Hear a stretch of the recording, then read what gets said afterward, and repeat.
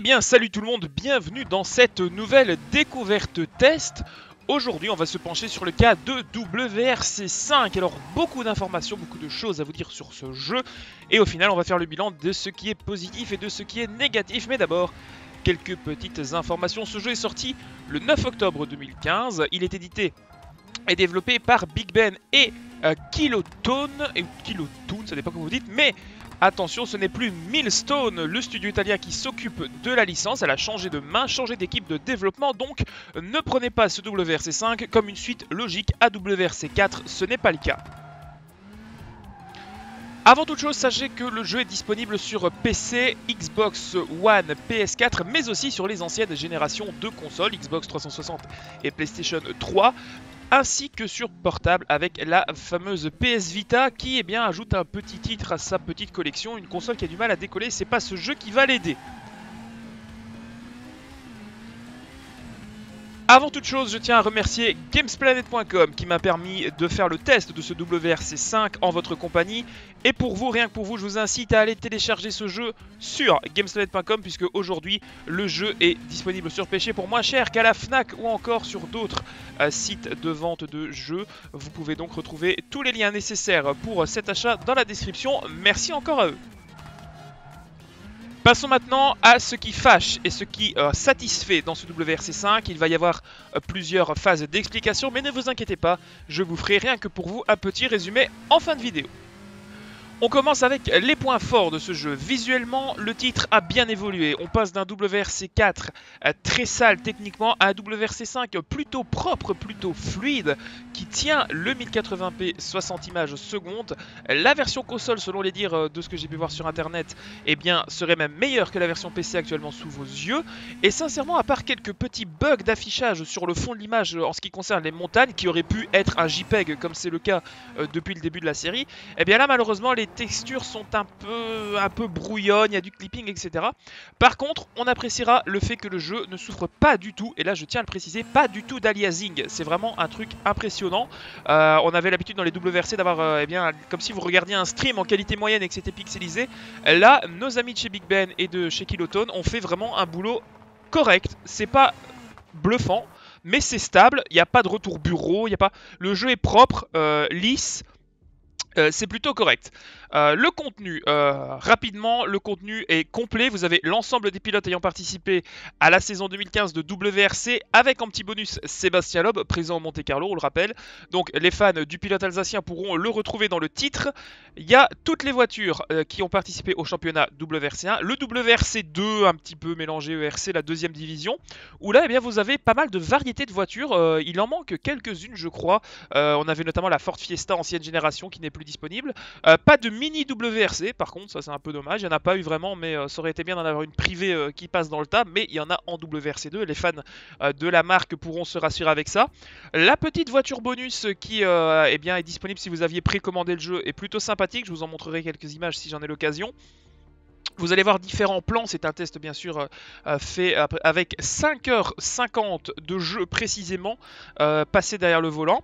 le test a été effectué avec un Logitech G27, pas du tout. Le test a été effectué avec un Trustmaster T300 et un euh, levier de vitesse TH8A pour avoir le maximum des sensations. Et c'est là qu'on va commencer à se fâcher, mais j'y reviendrai un peu plus tard. Les conditions météo sont très agréables, elles sont disponibles pour l'ensemble des spéciales, hormis quelques euh, étapes de nuit qui ne sont pas disponibles sous la pluie, sinon on ne verrait pas grand chose, vous en conviendrez. Mais euh, la pluie, la neige, la nuit, toutes les conditions météo sont paramétrables, même le brouillard, pardon, sont même paramétrables dans chacune des spéciales. les courses peuvent se courir de jour ou de nuit pour certaines, bien entendu. L'ensemble du calendrier du championnat 2015 est présent avec eh bien, une variété au niveau des tracés plutôt agréable. Vous allez devoir euh, eh bien, euh, vous contenter euh, des freins à main dans les virages cassants des rallyes de Grèce et du Portugal par exemple, et vous allez devoir voler avec votre voiture au-dessus des nombreux jumps du rallye de Finlande. On sent vraiment que il y a quand même une différence entre chacun des sites de rallye. Ça, c'est vraiment quelque chose qui a été accentué, je trouve, comparé aux anciens titres. Ce n'est pas encore ce que propose Dirt Rally avec euh, là des spécificités de mapping de cartes très précis. Là, on est encore dans du balbutiant, mais on peut dire que si vous allez en Allemagne, vous voulez une spéciale rapide. Si vous allez en Argentine ou en Grèce, vous allez avoir quelque chose d'un peu plus technique et un peu plus lent et un peu plus euh, transfert de masse, etc. Donc vous allez avoir un comportement de voiture bien différent. Euh, le comportement des voitures, parlons-en. Les surfaces différentes influencent grandement sur le gameplay. Ça, c'est une bonne chose. L'influence des setups. Alors, les setups, là, c'est un point que j'ai toujours du mal à, qualifier selon vos attentes. Si vous êtes un joueur lambda, vous voulez un bon jeu de bagnole, vous allez très bien vous en sortir avec les setups proposés dans ce WRC5. Par contre, si vous êtes un aficionados eh bien, de Project Cars, d'Assetto Corsa ou d'Air Factor, eh bien, il vous sera plus difficile de vous satisfaire des opportunités de réglage offertes par le titre. Vous en avez quelques images à l'instant. Les dégâts. Les dégâts sont assez limités, il n'y a pas vraiment de en fait, la déformation est correcte, mais la perte d'éléments est assez limitée. Ça, c'est vraiment un point qui m'a un peu déçu. Euh, les dégâts influencent par contre, ça c'est une nouveauté, euh, ça vous ajoute un élément d'immersion supplémentaire. Je m'explique. Euh, lorsque vous allez placer les dégâts en simulation, il est possible que vous fassiez 1, 2, 3 tonneaux en faisant une sortie de piste. Et à ce moment-là, où on cumule des sorties de piste légères, votre voiture va s'abîmer jusqu'au point où la radio ne fonctionnera plus. Vous avez une petite radio qui est symbolisée sur le, graphique des dégâts de votre véhicule, et une fois que vous avez eh trop goûté au bas-côté de la piste, eh votre radio va tomber en panne et vous serez seul face à la route, votre copilote ne pourra plus vous guider. Je ne sais pas si c'est déjà arrivé régulièrement en championnat du monde, c'est peut-être même un peu trop présent dans ce cas-ci dans ce jeu, mais c'est une feature plutôt sympathique qui donne un petit coup de stress quand vous activez les dégâts supplémentaires, au-delà d'avoir un comportement de voiture qui peut être entaché, euh, dévié ou moins bon, moins performant, vous avez aussi la possibilité de perdre votre copilote et ça c'est plutôt un point positif. Je vous disais donc les détails de l'immersion, on a vraiment des choses qui sont vraiment complètes.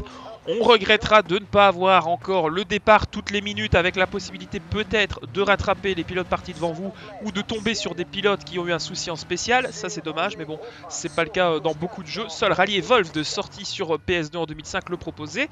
La liberté en cas de faute. Là je voudrais évoquer avec vous, euh, si vous jouez régulièrement au jeu de rallye, vous savez que dans les Macré Rally etc.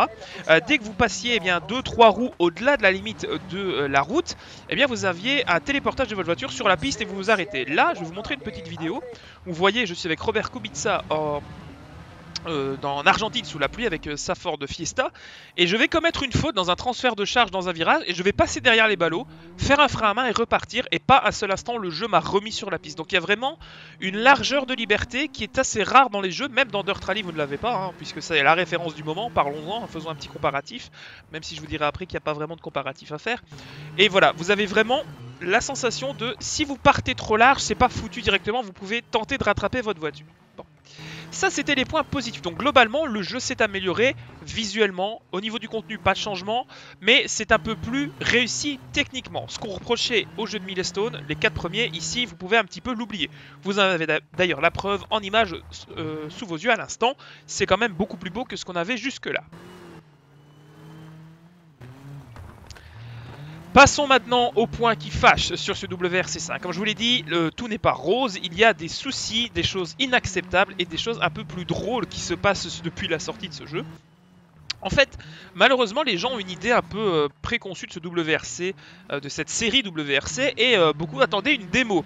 Je vous montre une capture Facebook d'un passionné, ou du moins d'un joueur, qui sur Facebook pose la question à quand la démo? Je vous précise simplement que ce message a été repris et posté le 10 octobre, c'est-à-dire le lendemain de la sortie du jeu. Donc le jeu n'est toujours pas en possession d'une démo alors qu'il est dans les packs, c'est un petit peu dommage. Généralement, c'est pour donner un peu envie, et on sent que les développeurs n'ont pas osé mettre à disposition le jeu avant de le mettre dans le commerce, de peur justement de vivre et de subir des critiques qui n'étaient peut-être pas justifiées. Donc on comprend tout à fait euh, l'abandon de la mise à la disposition des joueurs de cette démo sur les différentes plateformes. Parlons maintenant du comportement de la voiture. Je ne l'ai pas évoqué dans les points positifs parce que pour moi, c'est quelque chose de très particulier et qui, au global, est dans les points négatifs. On est obligé de se contenter euh, d'un angle de braquage d'approximativement entre 340 et 540 degrés. Vous n'allez pas avoir ici un comportement euh, optimal avec 900 degrés de rotation. C'est vraiment pas fait pour. Le jeu n'est pas fait pour, tout simplement.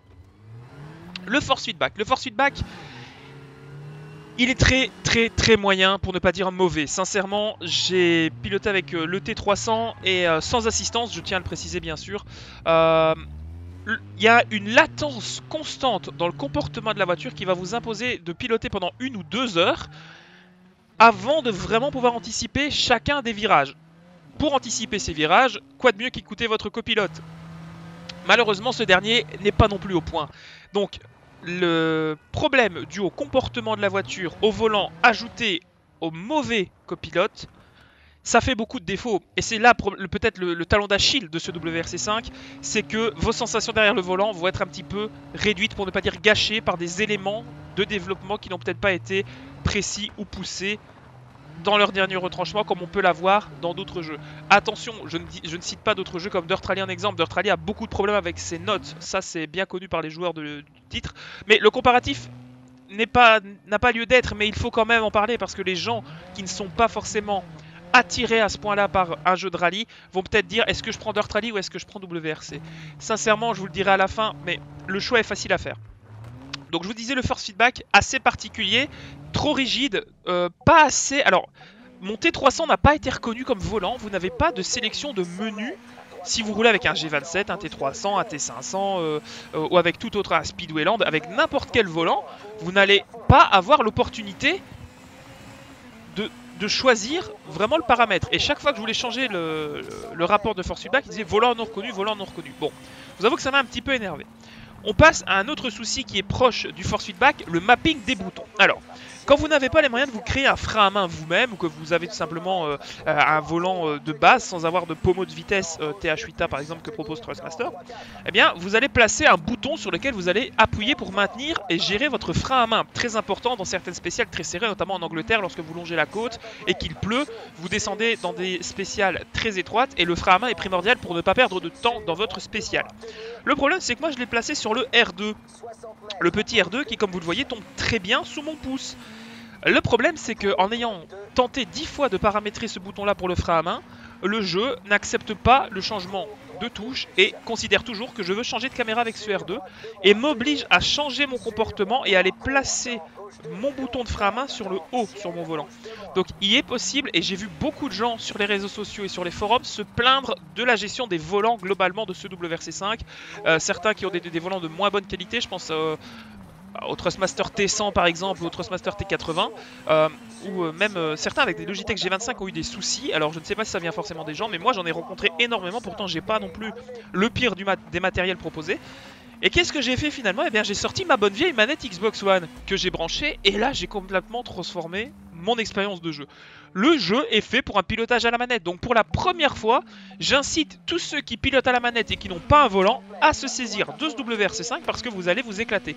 Plus de problèmes de latence, plus de problèmes de comportement, euh, facilité de réaction Là où votre, au volant vous allez mettre un peu plus de temps à changer de vitesse, à toucher le frein à main, etc. Là, comme vous avez directement votre manette en main, vous n'allez plus avoir de problème pour gérer votre, votre feedback, votre volant et votre comportement. Et ça va être une expérience formidable. Je me suis vraiment éclaté pendant deux heures à la manette avec ce jeu euh, qui est vraiment fait pour console. Donc un peu à la F1 2015, vous allez avoir un jeu développé pour les consoles et pour les PCistes à la manette. Donc si vous ragez depuis des mois, vous dites « Ah, je voudrais un volant, j'ai pas les moyens, ça coûte cher, je dois attendre Noël », eh bien là, vous pouvez sans hésiter prendre ce jeu parce que vous allez avoir un gameplay à la manette vraiment sympa et vraiment complet et vous allez vous éclater bien plus que sur WRC4 qui pour moi était un petit, euh, un petit peu moins bon en gestion de manette. Là franchement WRC5 à la manette c'est le combo, le meilleur rapport qualité-prix que vous pouvez avoir. Sincèrement c'est vraiment super sympa. Donc précision du rythme dans les notes, mauvais. Euh, le force feedback pas bon. Pas euh, de... Alors au niveau des animations quand vous passez dans une grande flaque vous avez rien sur le pare-brise, donc pas de salissure, pas de, pas de, vue obstruée. Ça, c'est dommage. Euh, donc les setups de voitures sont trop simplistes, je l'ai dit, même si pour le grand public, un jeu de rallye sous licence, c'est pas vraiment un problème. Donc si vous n'êtes pas un malade de GTR2, comme je vous disais, ou d'Air Factor, eh bien, vous allez avoir aucun souci. Vous allez même comprendre facilement vos setups. Ces derniers sont même pré-réglés, donc vous n'allez pas partir avec, par exemple, des setups euh, de tarmac sur une spéciale de, rallye en terre. Donc ça, c'est plutôt sympa. les options de jeu, malheureusement, sont aussi un peu restreintes euh, la difficulté euh, des, adversaires, pardon. Vous allez avoir vraiment beaucoup de choses qui vont être... Vous avez envie d'avoir un petit peu plus. Vous avez ce manque de... Allez, il manque pas grand-chose pour que le jeu soit vraiment comme il devrait être parfait. Autre petit détail, je ne sais pas si vous regardez le rallye, je vous invite à aller voir des vidéos sur YouTube, mais malgré euh, eh bien, la recrudescence d'accidents dans les rallyes euh, nationaux et euh, régionaux, en championnat du monde, vous avez énormément de public qui se masse sur les montagnes, dans les, zones euh, faites pour. D'ailleurs, si vous allez un jour voir un rallye que vous n'avez pas l'habitude, respectez bien les zones. C'est un petit conseil que je peux vous donner. Ça pourrait vous sauver la vie, croyez-moi. je suis pas passé loin parfois en respectant les zones. Donc justement, c'est pour ça que ça m'a sauvé la vie deux fois. donc Petite parenthèse faite, euh, le public et les commissaires en bord de piste sont un petit peu absents dans certaines spéciales. Euh, même dans les anciens WRC, il y avait un peu plus de monde, même si le jeu avait du mal de le gérer. Là, vous allez avoir quelques petites zones de public euh, réparties sur quelques endroits de la spéciale. Malheureusement, il manque ce côté, les fans essaient de gruger pour essayer de se placer à des endroits pour faire des photos, etc. Ça, c'est un petit peu dommage. Souci au niveau du replay et du mode photo qui n'est... Alors je l'ai pas trouvé peut-être, mais il n'y a pas de mode photo. Donc euh, avant vous aviez un mode libre en replay où vous pouviez aller voir ce que faisait votre voiture, faire des photos des fonds d'écran qui étaient plutôt sympathiques et vraiment complets pour le coup, puisque les voitures dans la série WRC ont toujours été très bien modélisées, donc si vous placiez une voiture en gros plan sans le fond, c'était plutôt correct, mais ça c'est du passé. Malheureusement ici, pas de mode photo. Le replay, vous avez des caméras qui sont très mal placées, je vais vous le montrer, vous allez voir plusieurs replays pendant ce vidéo test. Bon, ah, c'est dommage parce que la vue interne entre les deux pilotes, enfin entre le pilote et le copilote, pardon, est trop basse.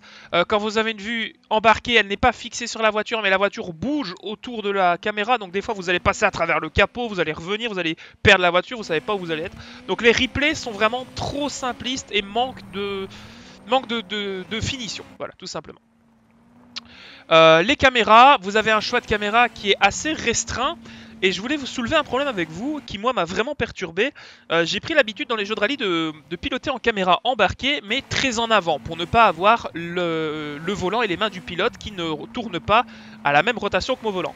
Donc là, je vais dans les setups, j'avance au maximum la caméra en caméra embarquée, et je me dis, bah tiens, j'ai dû désactiver l'ATH puisque je ne vois pas mon rapport de boîte. Alors, j'ai beau utiliser une boîte à palette, puisque pas de boîte en H ici, hein, c'est pas supporté bien sûr par le jeu, c'est que de la palette, donc monter et descendre les rapports. Je me dis comment je sais si je suis en 2, 3, 4 ou 5ème vitesse? Ben, Je peux pas le savoir parce qu'en fait le tableau de bord en caméra embarquée ne vous propose pas d'ATH. Seul le tableau de bord originel de la voiture vous indique votre rapport de boîte et vos tours minutes.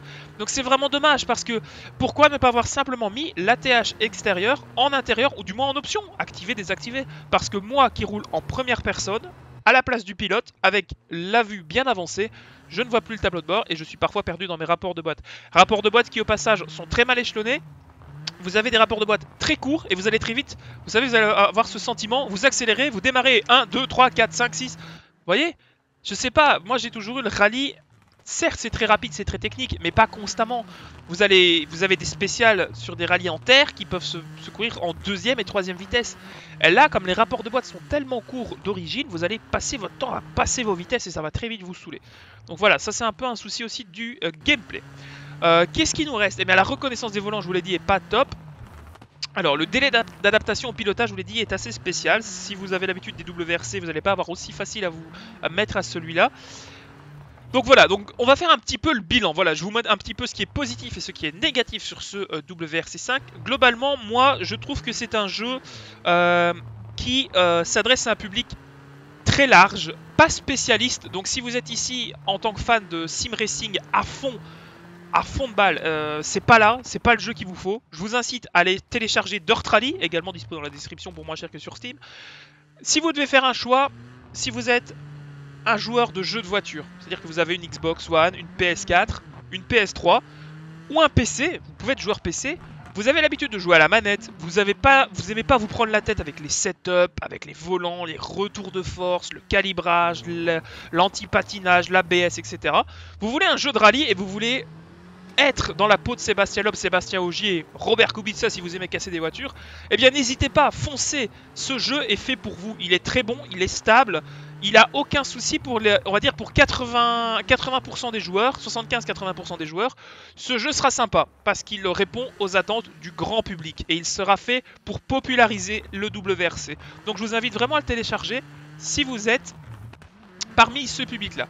Si vous êtes par contre parmi la minorité de joueurs qui sont des accros du volant, du frein à main, du transfert de masse, qui passent des heures en setup, qui font des fichiers selon la spéciale, selon le pays, avec euh, un pommeau de vitesse, avec un volant pro, avec euh, euh, le casque et tout, le triple écran, vous n'allez pas trouver votre bonheur dans ce jeu-là. Donc sincèrement, vous pouvez le tester, vous aurez 30 euros qui seront utilisés pas pas parce que 30 euros c'est le prix qu'il vaut. N'allez pas mettre 50, 60, 70 euros pour ce jeu, il n'en vaut pas le prix.